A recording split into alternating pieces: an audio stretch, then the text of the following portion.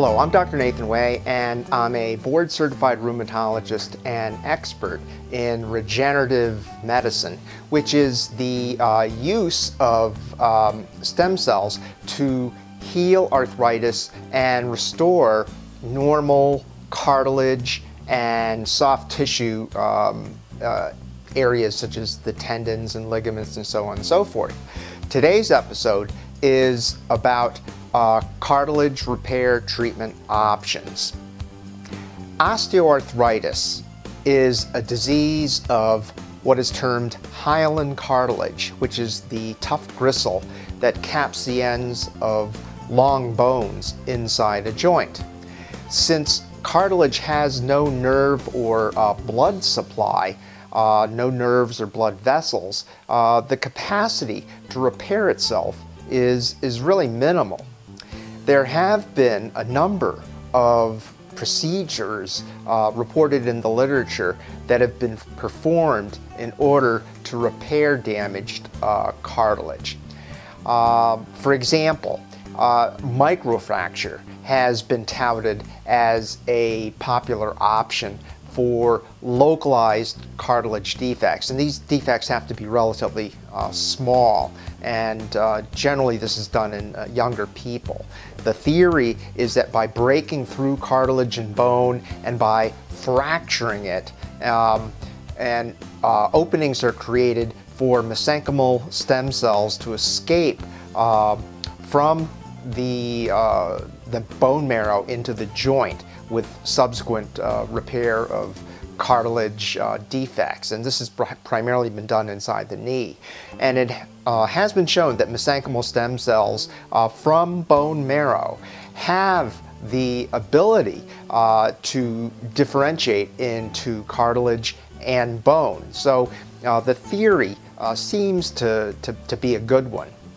autologous cartilage plugs are another option.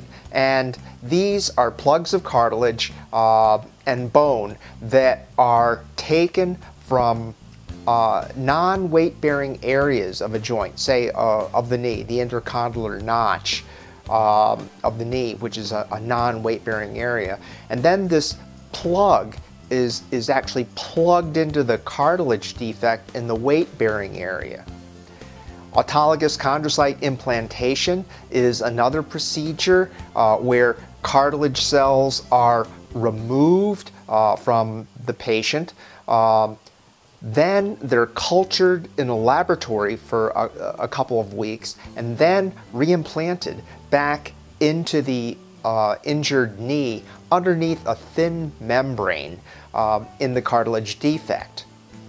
The patient um, is not allowed to uh, bear weight for at least uh, six months, I believe it is. It's several months.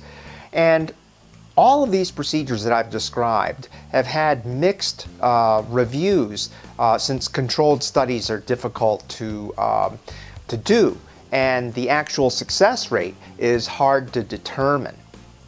None of these procedures has been shown to be effective for osteoarthritis. Um, one option that does appear to have promise is the use of mesenchymal uh, stem cells along with uh, growth factors and uh, biomatrix uh, materials uh, administered using a combination of ultrasound as well as uh, arthroscopic guidance. Well, that's it for today. Um, thanks for watching. What I'd like you to do now is just below this video, there's a button that says click here. I want you to uh, go ahead and click on it and what that'll do is send you to a page where you can sign up to get more free videos, more free information, uh, more free a lot of different things uh, that'll help you understand stem cells better. And uh, thanks again for watching. This is uh, Dr. Nathan Wei.